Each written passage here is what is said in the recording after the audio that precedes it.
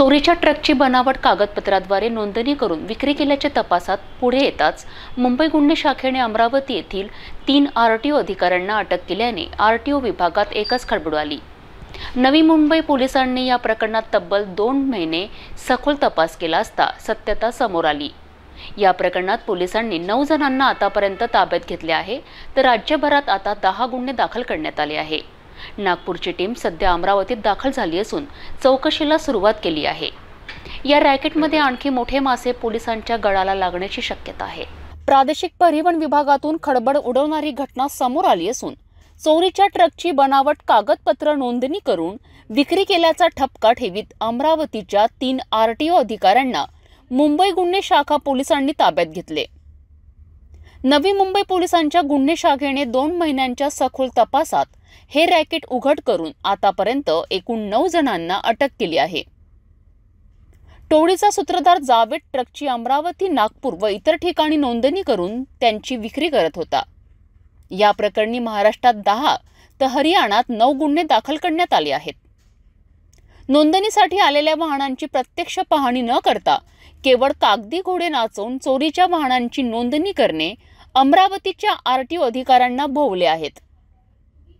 गुन्हेगारांना साथ दिल्याप्रकरणी एका गुन्ह्यात अमरावतीच्या आरटीओ विभागातील सहाय्यक परिवहन अधिकारी भाग्यश्री पाटील वय त्रेचाळीस वर्ष मोटर निरीक्षक गणेश वरुठे वय पस्तीस वर्ष व सहाय्यक प्रादेशिक मोटर परिवहन अधिकारी सिद्धार्थ ठोके वय पस्तीस वर्ष यांना पोलीस पथकाने अटक केली आहे.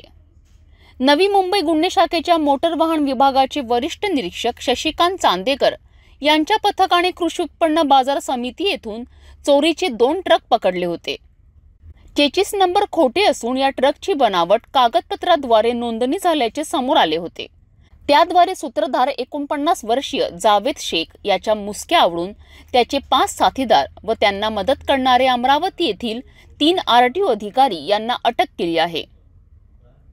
एकोणपन्नास वर्षीय महम्मद असलम शेख अठ्ठेचाळीस वर्षीय शिवाजी गिरी तेहतीस वर्षीय अमित सिंग चाळीस वर्षीय शेख रफिक शेख दिलावर मंसुरी एक्केचाळीस वर्षीय वरुण जिभेकर अशी जावेदच्या सहकाऱ्यांची नावे आहेत. त्यांच्याकडून साडेपाच कोटींचे एकोणतीस ट्रक जप्त करण्यात आले आहेत.